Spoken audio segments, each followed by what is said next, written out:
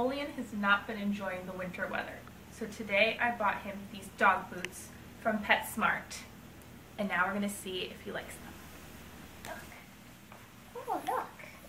Little boots.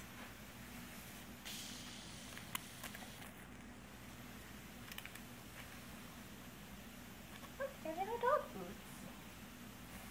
Let's go.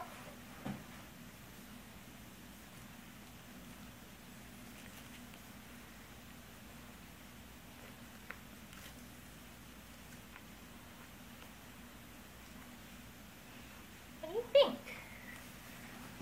Do you like them? Take two. Oh. Come over here. Come on, get up here. All right. Let's try again.